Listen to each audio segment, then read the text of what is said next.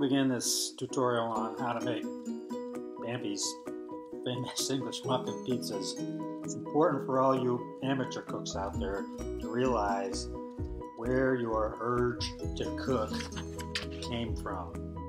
And the buck stops here. That's right, Bambi started it all with his famous recipe for English muffin pizzas. So sit back, take notes if you must, enjoy this short presentation so that you someday may also raise to greatness making Bambi's English muffin pizzas. The most important step in any process is the first step. And what you must remember about making these English muffins is it's all about the ingredients. So you want to collect, get all the best ingredients you can ready to go.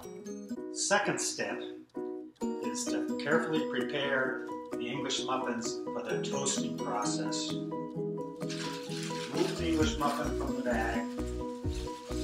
Be careful to slice it evenly all the way around.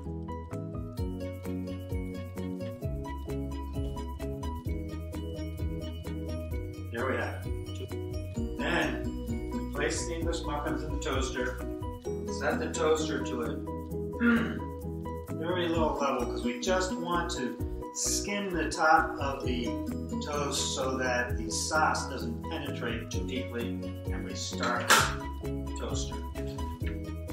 Once the toast is perfectly skim heated, remove it from the toaster and we butter it slightly.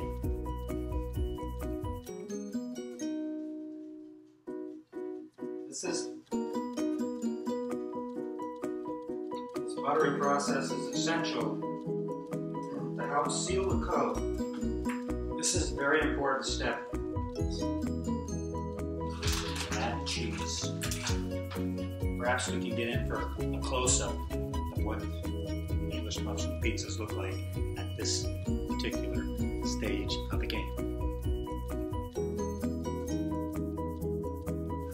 Favorite topping is pepperoni. You might like hamburger, sausage, even some vegetables maybe. Also okay, various points of this process if you want to sneak a piece of pepperoni.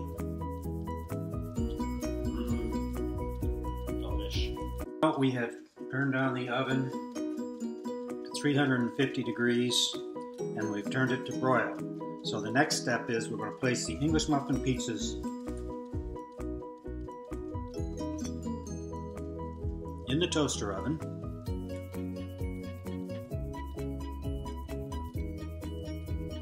After about three minutes, maybe five minutes, we carefully check to see if the cheese is melted. Mmm, looks perfect sure not to burn fingers, we use pot holders. Remove the English muffin pizzas and place them aside. Them cool just a little bit. And now, my favorite part, eating English muffin pizzas.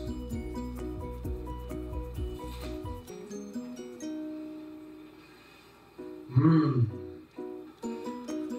That's as good as any chocolate chip, muffin, gluten free, whatever you can possibly whip up. Dear, what is all this mess? I hope you think you're going to clean it up.